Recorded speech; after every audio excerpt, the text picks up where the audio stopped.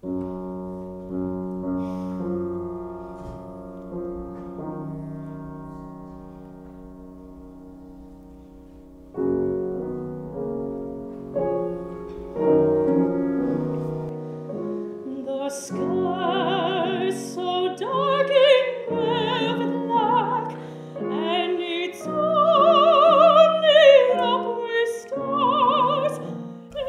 is your life sung back at you.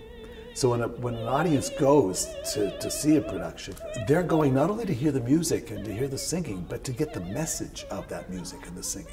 The preacher to make me repent. I think the enduring appeal of Susannah and why it's such a popular American opera, probably the most often performed, uh, is a combination of the fact that the music is extremely accessible and with lots of beautiful melodies that are memorable. The story is very compelling and is timeless. It's a beautiful story, it's a touching story, it's moving, and it's a story that needs to be told, but it's not an easy story. Susannah Polk is my dream role, mostly because she's such a dynamic character. You see her go from this innocent young woman to being betrayed by her entire community and the demise of her.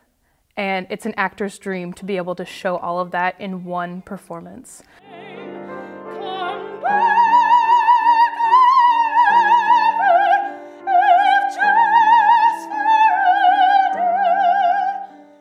The roles of Susannah and Blitch require some heroic singing.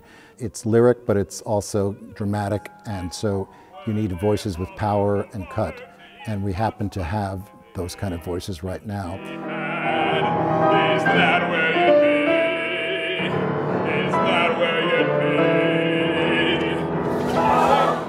It's been uh, really exciting to uh, explore uh, the Reverend Olin Blitch. It's really easy to just see him as this caricature, this angry, yelling preacher who is against sin and fire and brimstone, all that. But you really have to dig in deeper uh, and find the humanity in him.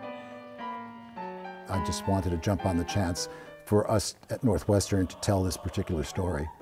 When the show was written, it was basically a response to the McCarthyism. It, it was premiered in, at University of Florida State in 1955 and then at New York City Opera in 1956. And so the, the whole idea of mob mentality and name calling was very much on, still on the American public's mind.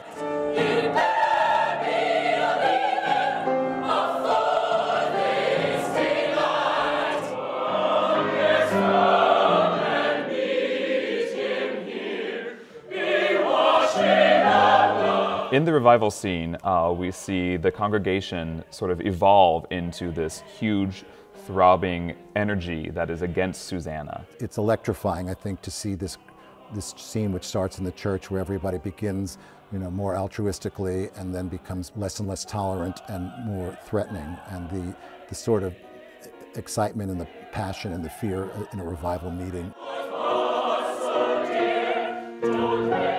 Operas are about something. There's a message. And Susannah has a message. And the message is when you come too quick to judge people without really having the facts and really knowing what you're doing, and you just do it based on, on prejudice and hunch, you can do a lot of damage.